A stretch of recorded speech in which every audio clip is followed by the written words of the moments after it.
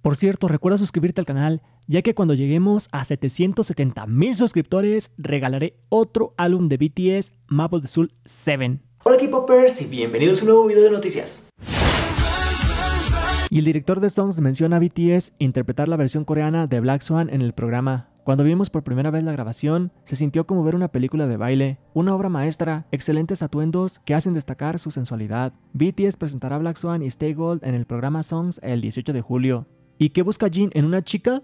Jin es uno de los idols más queridos por todo el público. El integrante de BTS es un artista muy talentoso que baila y canta y escribe emotivas canciones que llegan a los corazones de los fans. La personalidad del intérprete de Epiphany es muy divertida, pues es el alma de BTS, pues constantemente está haciendo chistes y bromas que alegran el día de todos sus compañeros del grupo. En esta ocasión veremos algunas de las características que busca en su futura novia, en cuanto a la edad, no es un tema importante para Jin. El integrante de BTS ha declarado que no está cerrado al amor.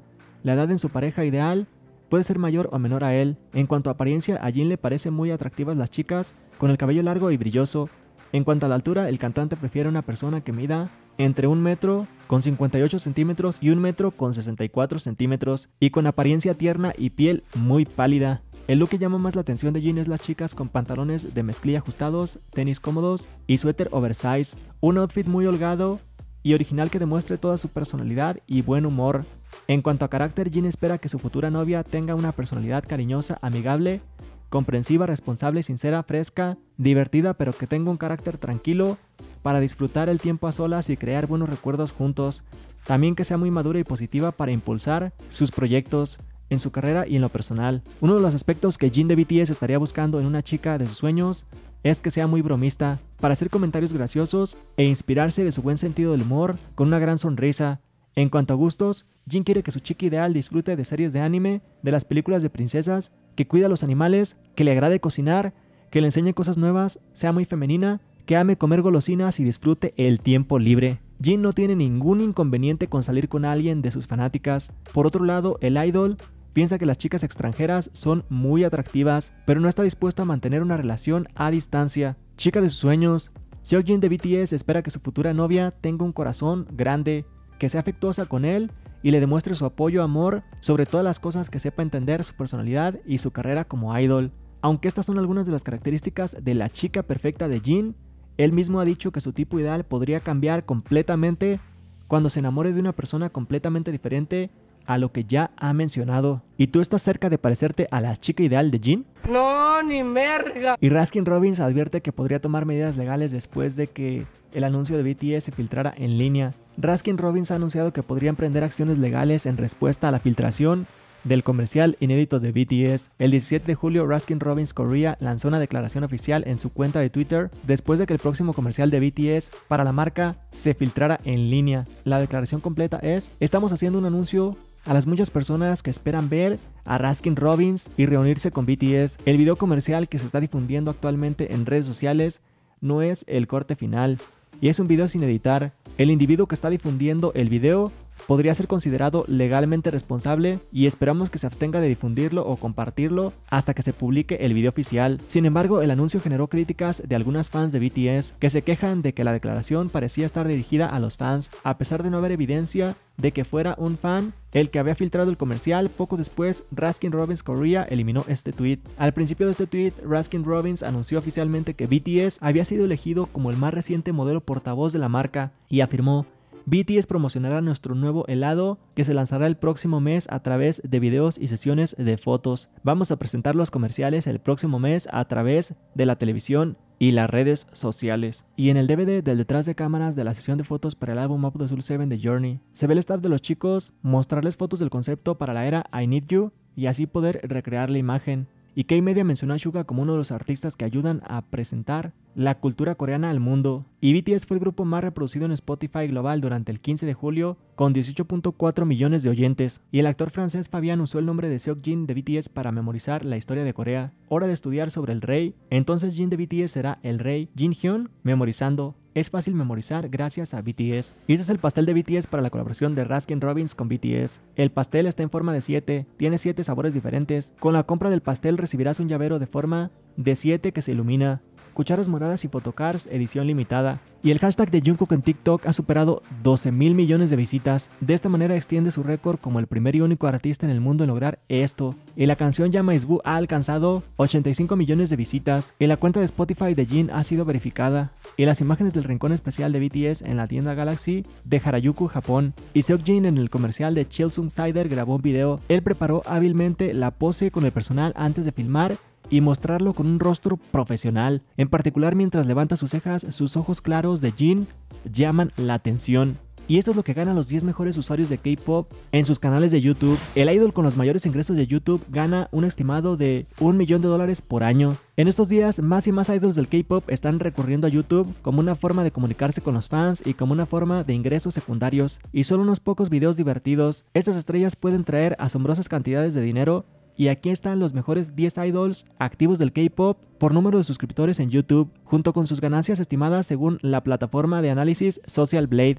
10. Bomi de Aping. Bomi de Aping tiene 812 mil suscriptores en su canal personal de YouTube. Bibom Bibom Bibom. Desde que creó su canal en abril del 2018 ha acumulado 49 millones de visitas en 115 videos. Sus ingresos estimados de Bomi son aproximadamente de 7.300 dólares por mes o 87.800 dólares por año. Yo tengo el doble de visitas y obviamente no gano eso. Dale like si quieres que revele cuánto gano o cuánto gané con 110 millones de visitas. 9 Jai de Day 6. Jai tiene 880 mil suscriptores en su canal personal de YouTube. Edge, desde que creó su canal en enero del 2016, ha acumulado 21 millones de visitas en 29 videos. Las ganancias estimadas de Jai son aproximadamente de 13.200 dólares por mes o 157.900 dólares por año. 8 Taeyeon de Girl Generation. Taeyeon tiene 1.3 millones de suscriptores en su canal personal de YouTube, Tengu TV. Desde que creó su canal en enero del 2011 ha acumulado 38 millones de visitas en 27 videos. Las ganancias estimadas de Taeyeon son hasta de 2.000 dólares por mes o 23.700 dólares por año. 7. Lee Soyun de Agmu. Lee Soyun tiene 1.45 millones de suscriptores en su canal personal de YouTube. Lee Hyun desde que creó su canal en mayo de 2017 ha acumulado 60 millones de visitas en 87 videos. Las ganancias estimadas de Lee Soo-jun son aproximadamente de 12.300 dólares por mes o 147.000 dólares por año. 6 Hyuna. Hyuna tiene 1.45 millones de suscriptores en su canal personal de YouTube homónimo. Desde que creó su canal en septiembre del 2019 ha acumulado 38 millones de visitas en 44 videos. Las ganancias estimadas de Hyuna son aproximadamente de 6.500 dólares por mes o 78.400 dólares por año. 5 Chen de EXO. Chen tiene 1.72 millones de suscriptores en su canal de YouTube personal homónimo. Desde que creó su canal en marzo del 2019 ha acumulado 23 millones de visitas en 10 videos. Las ganancias estimadas de Chen son aproximadamente de 12.900 dólares por mes o 154.000 dólares por año. 4 Solar de Mamamoo. Solar tiene 2.24 millones de suscriptores en su canal personal de YouTube, Solarcido. Desde que creó su canal en enero del 2019 ha acumulado 110 millones de visitas en 137 videos, la misma cantidad de visitas totales que yo. Las ganancias estimadas de Solar son de 20 mil dólares por mes o 247 mil 300 dólares por año.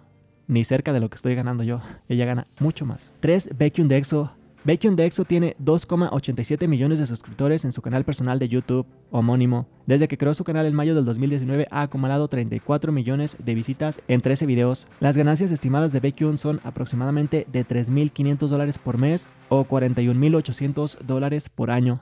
Número 2. Lisa de Blackpink. Lisa tiene 3.6 millones de subs en su canal personal de YouTube, Lisa Film Oficial. Desde que creó su canal en 2018, ha acumulado 107 millones de visitas en 9 videos. Las ganancias estimadas de Lisa son aproximadamente de 83 mil dólares por mes o 996 mil 400 dólares por año. Esa asombrosa cifra es de casi un millón de dólares y hace a Lisa que sea la youtuber con mayores ingresos en el K-pop.